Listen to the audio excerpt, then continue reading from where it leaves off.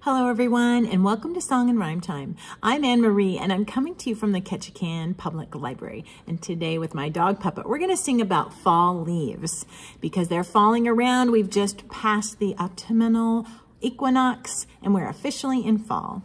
So it's a good song to sing as you're driving around town, seeing all these leaves come down, or in your yards. Here we go. All the leaves are falling down, falling down, falling down. All the leaves are falling down all around town. Let's take a rake and pile them up, pile them up, pile them up. Let's take a rake and pile them up all around town.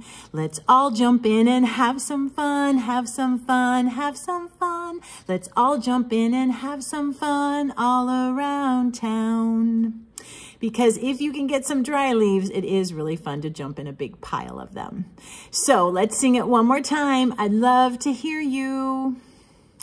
All the leaves are falling down, falling down, falling down. All the leaves are falling down all around town. Let's take a rake and pile them up, pile them up, pile them up. Let's take a rake and pile them up all around town.